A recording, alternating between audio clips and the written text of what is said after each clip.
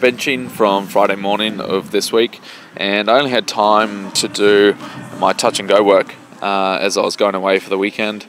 Uh, so I just uh, went straight into my touch and go work, which I was supposed to be doing um, a heavy five at nine RPE. Um, but one of the boys earlier in the week uh, threw down uh, seven, uh, six reps on 145, and I was feeling reasonably good, and I wanted to beat him. So ended up um, chucking an extra two reps in there to uh, to beat him on that, and that was pretty good.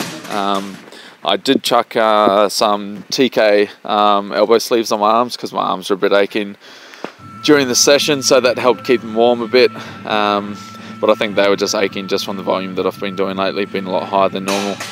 Um, so after the 145 for seven, I did uh, 145 for five, and then after that, four sets of five on 140. Any comments or questions, hit me up on Facebook or YouTube. Thanks very much.